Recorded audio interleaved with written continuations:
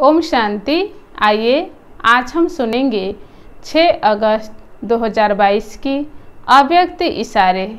आज परमपिता परमात्मा हम बच्चों को कह रहे हैं, बच्चे, पवित्रता के महत्व को जान, महान बनो।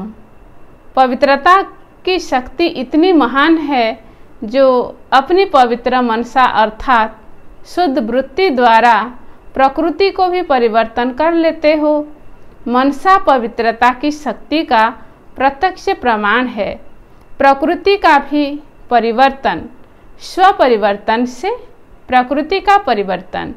प्रकृति के पहले व्यक्ति तो व्यक्ति परिवर्तन और प्रकृति परिवर्तन, इतना प्रभाव है मनसा पवित्रता की शक्ति का।